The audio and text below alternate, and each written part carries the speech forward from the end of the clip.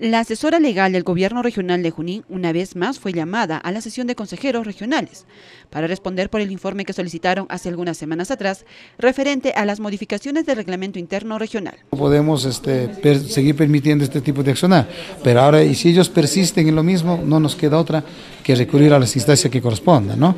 Y eso sería un mecanismo y una alternativa nos vemos obligados en todo caso a recurrir a, poder a, la fiscalía en todo caso, ¿no? El 11 de junio del presente año, los consejeros aprobaron derivar las modificatorias del reglamento interno del Consejo Regional para ser evaluadas por el área de la gerencia de la Oficina de Asesoría Jurídica, esperando que hoy se presente un informe que evalúe cuál de los articulados puedan transgredir alguna norma pero este informe no se presentó. De eso nosotros, es justamente en el reglamento interno que nosotros proponemos, es a partir del incumplimiento de funciones recomendar al Ejecutivo su destitución de los funcionarios. Ahora, ese, ese articulado lógicamente debió ser analizado y evaluado, en todo caso decirnos en el informe técnico qué norma se contra, contrapone en todo caso decir que nosotros estamos violando las normas, las disposiciones, pero que nos digan tácitamente qué norma, dónde, en, qué norma dice eso. Pero lamentablemente no. Ellos simplemente han agarrado, han hecho un informe general y ni siquiera no, ni existe opinión alguna con respecto, o en todo caso una sugerencia con respecto a los articulados, no existe. Entonces yo pienso de que ha sido una reunión irresponsable y falta de respeto, del cual el Consejo Regional está bastante molesto y mortificado. La decisión del asesor fue trasladar el documento con la propuesta de RIC hacia la gerencia general y esta, a cargo de Wider Herrera, llamó a una reunión de gerentes para evaluar las modificatorias. El 26 de agosto decidieron sugerir el cambio total de RIC, así como el informe de la asesoría legal sobre lo actuado.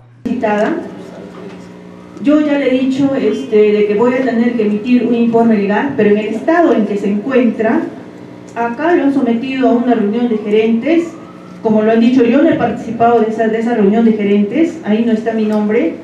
El detalle es de que no creo yo que hayan participado solo los gerentes, también deben haber participado con sus abogados y es por eso que ellos están pidiendo un análisis de todo esto.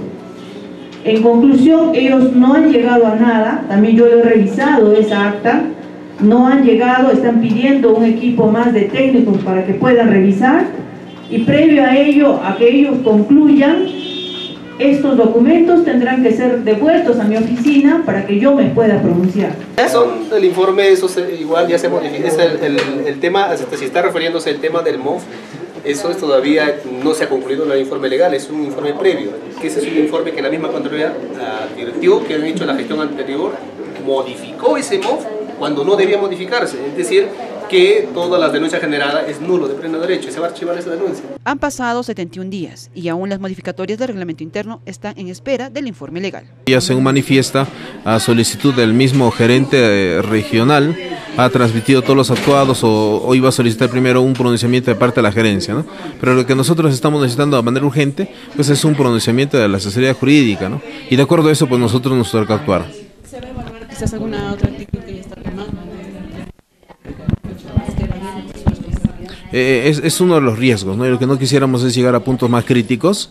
Por lo tanto, lo que hemos solicitado es eh, que nos envíen por escrito cuáles son los actuados y cuáles son los compromisos que van a asumir en este caso la asesoría jurídica y también el, el, gobierno, eh, perdón, la gerencia regional respecto. De acuerdo al, al, al organigrama, la, gerencia regional pues prácticamente tiene a su cargo asesoría jurídica, es que en algún, bajo unas circunstancias entendemos que ha tenido que, remitir información a su inmediato superior, ¿no?